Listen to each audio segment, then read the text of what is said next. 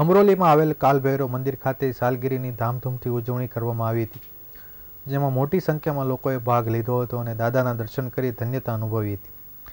સુરત અમરોલી વિસ્તારમાં કાલભૈરવ મંદિર આવેલું છે, જેમાં મંગળવારના રોજ કાલભૈરવ દાદાની સાલગીરી નિમિત્તે હવન કથા, આરતી અને સાંજે કેક અને મહાપ્રસાદ અને ગરબાનું આયોજન કરવામાં આવ્યું હતું, જેમાં મોટી સંખ્યામાં ભાવિક ભક્તોએ લાભ લીધો હતો. વર્ષો જૂનું મંદિર હોવાથી કાલભૈરવ દાદાના દર્શનને તે પોતાની મનોકામના લઈ આવે છે. કાલભૈરવ દાદા તેની મનોકામનાઓ પૂર્ણ કરે છે.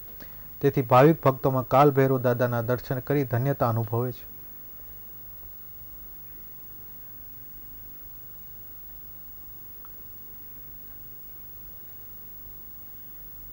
ભાઈ દલપતભાઈ વસાવા એક કાલભૈરવ બાબાનું મંદિર છે, અહીંયા ગણેશપુરા ફાયર સ્ટેશનની સામે, બાણું નંબર.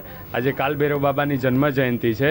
જે નિમિત્તે આખા દિવસનો પ્રોગ્રામ રાખ્યો તો સવારે કથા હતી, કથા ત્યાર પછી કાલભૈરવ બાબાનો હવન કર્યો, ત્યાર પછી આરતીનો પ્રોગ્રામ હતો અને ત્યાર પછી હમણાં મહાપ્રસાદીનું આયોજન કરેલું છે, જેમાં ભક્તો બધા પ્રસાદીનો ને ત્રીસ કિલોની કેક દર વર્ષે વર્ષો વર્ષ, ઘણા વર્ષોથી કરવામાં આવે છે. આજે ત્રેવીસમી કાલભૈરવ બાબાની જન્મ જયંતિ છે.